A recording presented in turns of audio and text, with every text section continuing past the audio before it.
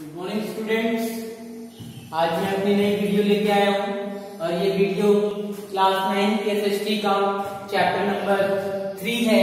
अगर आप देखें तो ये चैप्टर जो है हमने ज्योग्राफी से लिया है।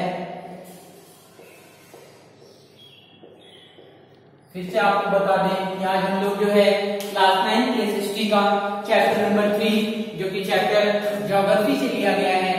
चैप्टर का नाम है ड्रेनेज जो कि एक नया चैप्टर है और इस नए चैप्टर में हम लोग जो है आज कितने पॉइंट्स पर डिस्कशन करने जा रहे हैं। फिर से मैं आपको बता दूँ कि आज हम लोग जो है क्लास नाइन की एसएसटी का चैप्टर नंबर थ्री जिस चैप्टर का नाम है ड्रेनेज जो चैप्टर जोग्राफी से लिया गया है और चैप्टर देखेंगे तो ड्रेनेज के बारे में, यानी कि हम रिवर सिस्टम के बारे में आज यहाँ पढ़ने जा रहे हैं। इंडिया में कौन कौन से रिवर सिस्टम काम करते हैं? इन रिवर सिस्टम को हम लोग जो है बहुत ही विस्तार में जानने जा रहे हैं। तो चलिए, सबसे पहले हम लोग जो है देखते हैं कि कौन कौन से पॉइंट्स पर आज की वीडियो में हम लोग डिस्कशन करेंगे। पहला पॉइंट है हमारा इंट्रोडक्शन यानी कि सबसे पहले मैं आपको ड्रेनेज के बारे में इंट्रोडक्शन देने जा रहा हूँ कि ड्रेनेज क्या होता है। ड्रेनेज के बारे में हम लोग जो है समझेंगे। इंडिया भारत में मैं आपको ड्रेनेज सिस्टम बताऊँगा और दो ड्रेनेज सिस्टम आपको बताए जाएँगे। दोनों ड्रेनेज सिस्टम में आप देखेंगे हिमालय रिवर के बारे में और पेनिसुलर रिवर के बारे में। तो दो प्रकार का ड्रेनेज सिस्टम समझेंगे। एक हिमालय का ड्रेनेज सिस्टम और दूसरा जो है पेनिसुलर रिवर का ड्रेनेज सिस्टम जिसे आप प्रायद्वीपीय नदियाँ के नाम देते हैं। अगला हम पढ़ेंगे, important river and their tributaries हम लोग है, प्रमुख नायक नदियाँ, और उनकी सहायक नदियों के बारे में पढ़ेंगे कि कौन कौन सी प्रमुख नदियाँ हैं और उनकी कौन कौन सी सहायक नदियाँ हैं जो उनके साथ जो है बहती हैं। फिर उसके बाद हम लोग जो है तीन रिवर सिस्टम लगातार पढ़ेंगे।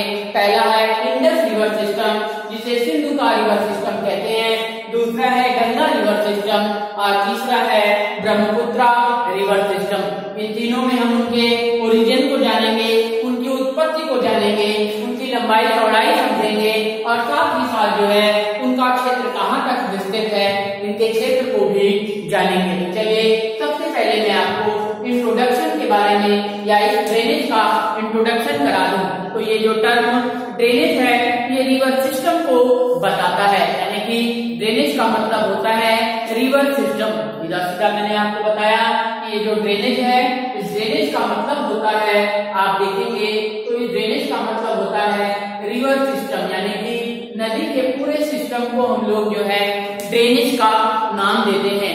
अगर आप भारत का फ़िज़िकल मैप देखें तो फ़िज़िकल मैप में आपको स्मॉल स्ट्रीम यानी कि छोटी छोटी धाराएँ एक दूसरे के डायरेक्शन में जाती हुई दिखाई पड़ेंगी या आप देखेंगे तो कुछ ऐसी वाटर बॉडी दिखाई पड़ेंगी जो एक छोर से निकलेंगी और दूसरे छोर में यानी कि किसी न, किसी सागर या महासागर में जाकर समा जाएँगी।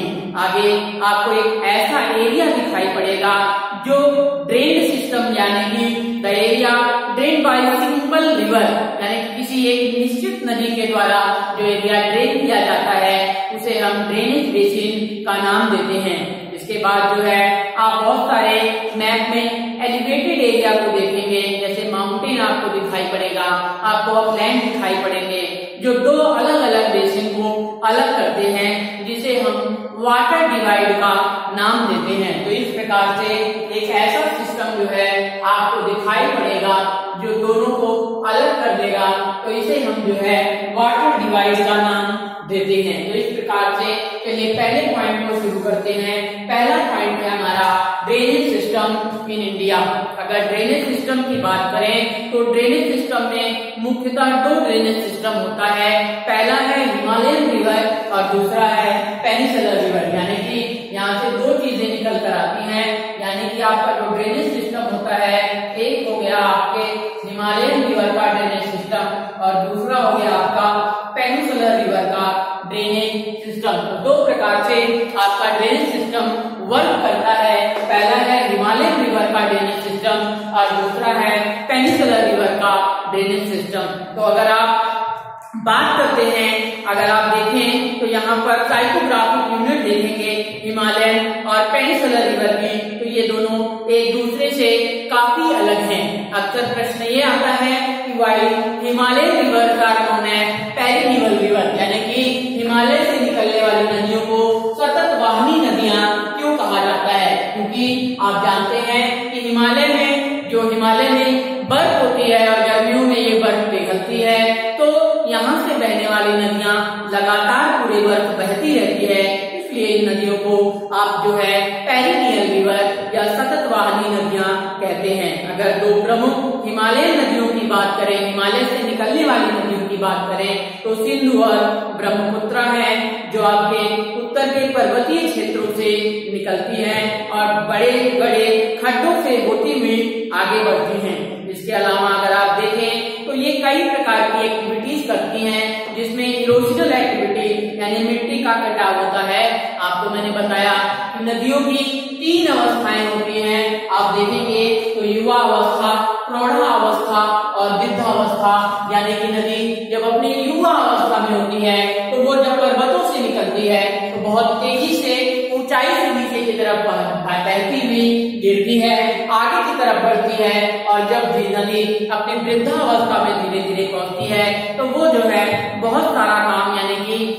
अपने साथ वो सिल्ट बहा कर ले जाती है, उस सिल्ट को डिपोजिट करने का भी काम करती है। इसके अलावा नदियाँ बहुत सारी चीज़ें का निर्माण करती हैं, जैसे ऑक्सबो धनुषाकार झील बनाती हैं। इसके अलावा बाढ़ के मैदान का निर्माण करती है और कुछ तो ऐसी नदियाँ हैं जो डेल्टा का भी निर्माण करती है।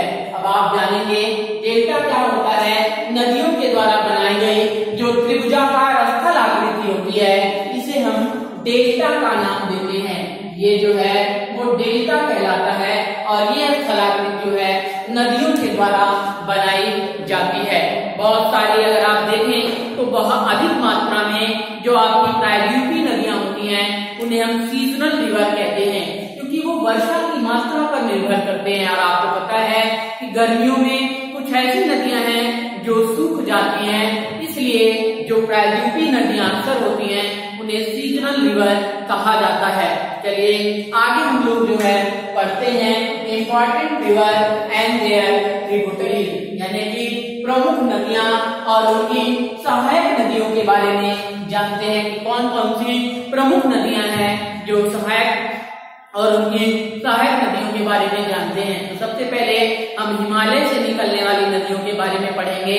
सिंधु नदी है, गंगा नदी है और ब्रह्मपुत्रा है। इन तीन सिस्टम को आज पढ़ेंगे। और ये जो नदियाँ हैं, ये बहुत लंबी नदियाँ हैं। अगर आप देखें तो ये जो है कि कई सारी सहायक नदियाँ हैं। और देखेंगे तो ये एक रिवर सिस्टम बनाती है। तो सबसे पहले चलिए शुरू करते हैं। पहला है द इंडस रिवर सिस्टम यानी कि पहला है सिंधु नदी का सिस्टम या इंडस रिवर सिस्टम के बारे में जानते हैं। तो ये जो नदी है, जिसे आप सिंधु नदी कहते हैं, ये तिब्बत से निकलती है, मानसरोवर झील से होती हुई आगे बढ़ती है, पश्चिम की तरफ़ बहती हुई। ये भारत में, लद्दाख में, जम्मू और लद्दाख में, जम्मू कश्मीर के लद्दाख में पहुँचती है। अगर आप देखें तो ये एक पिक्चर स्केच बनाती है, एक गॉड का निर्माण करती है, और इसकी कई सारी सहायक जैसे जास्कर है, नुब्रा है, श्योक है, हुंजा है, जो आपके कश्मीर से जुड़ती हैं। इसके अलावा अगर इंडस की बात करें तो ये बतीस्तान गिलगिट इनसे होती हुई अटाक पर्वत तक पहुँचती है। साथ ही साथ जो सतलज है, ब्यास है, रावी है, चेनाब है, झेलम है, ये भी जो है इनको मिठानकोट जो कि पाकिस्तान में पड़ता है, यहाँ से इनके साथ जाती हैं। साथ ही साथ ये आगे बढ़ती हैं, दक्षिण की तरफ़ और अरब सागर में गिर जाती है और पूर्व में कराची की तरफ़ बहती है। अगर आप सिंधु के मैदानी भागों की बात करें तो इनका मैदानी भाग पे हल्का ढाल है। इसकी टोटल लंबाई अगर आप देखेंगे तो उन्तीस सौ किलोमीटर आपको मिलेगी। यानी कि ये जो है, एक लंबी नदी है। उन्तीस सौ किलोमीटर क्षेत्र में लगभग ये प्रभावित साथ ही साथ देखेंगे तो ये विश्व की एक लंबी नदियों में से एक है। अगर आप देखें तो इंडस बेसिन जो कि आपके भारत में पड़ता है, जो कि राज्य है जम्मू और कश्मीर के अलावा, हिमाचल आप देखेंगे पंजाब और बाकी जो है, इसका प्रवाह क्षेत्र पाकिस्तान में होता है। तो इस प्रकार से एक नदी सिस्टम के बारे में आपने पढ़ा, जिसका नाम है इंडस रिवर सिस्टम और इंडस रिवर सिस्टम जो है, लगभग इंडस नदी या सिंधु नदी उन्तीस किलोमीटर तक पहुँची है। इसकी सहायक नदियों में झेलम है, रावी है, व्यास है, चिनाब है, ये सब जो है इसकी सहायक नदियाँ हैं।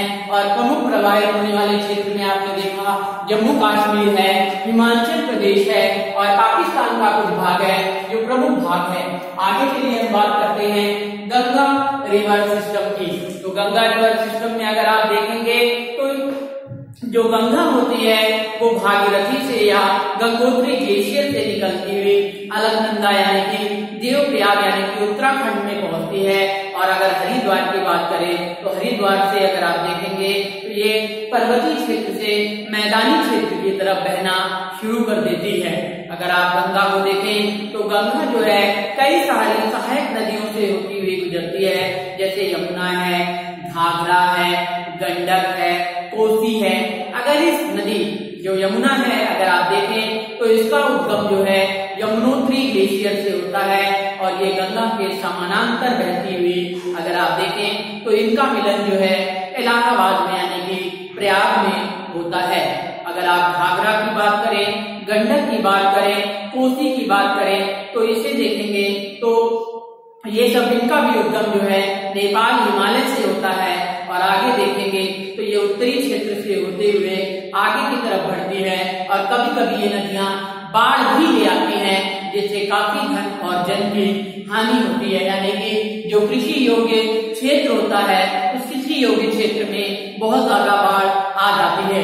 आगे अगर आप देखें तो गंगा जो है, पूर्व की तरफ़ बहती है और पूर्व की तरफ़ देखेंगे तो पश्चिम बंगाल की तरफ़ पहुँचती है और इसके बाद जो है, ये एक डेल्टा का निर्माण करती है। मैंने आपको बताया, डेल्टा क्या होता है?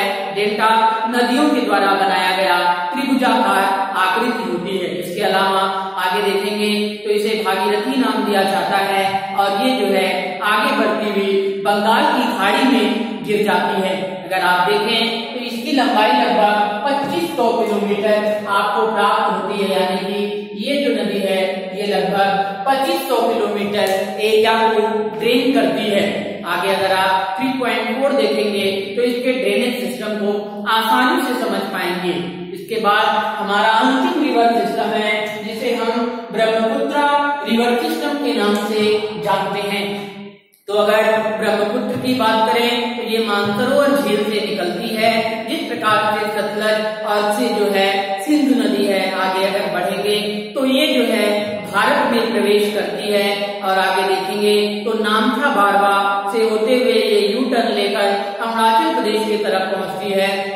पर दिहांग नदी जिसे दिबांग लोहित के नाम से जानते हैं, ये जो है इनसे आसाम में मिलती है। अगर तिब्बत की बात करें तो यहाँ पर छोटी छोटी मात्रा में ये सिल्क भी इस एरिया में ले जाती है। और आगे देखेंगे तो ये जो है भारत में जो है, यहाँ पर कुछ क्षेत्रों में जहाँ ये बहती है, जहाँ पर ज़्यादा वर्षा होती है। साथ ही साथ इसमें बहुत ज़्यादा जो है सिल्ट की मात्रा होती है और आगे जब ये नदी धीरे धीरे मैदानी भागों की तरफ़ बहती है तो देखेंगे तो सिल्ट जो है इकट्ठा होना शुरू हो जाता है। इस प्रकार से देखेंगे तो ये जो है ज़्यादा विश्व के सबसे बड़े रिवराइन आइलैंड का निर्माण करती है और आगे प्रत्येक जो रेनी सीज़न होता है, मानसून सीज़न होता है तो ये जो है आसाम में, बांग्लादेश में बाढ़ लाने का भी काम करती है। तो ब्रह्मपुत्र नदी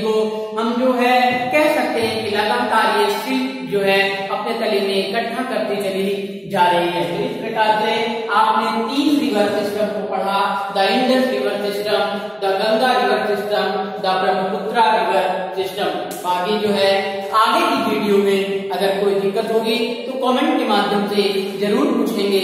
थैंक यू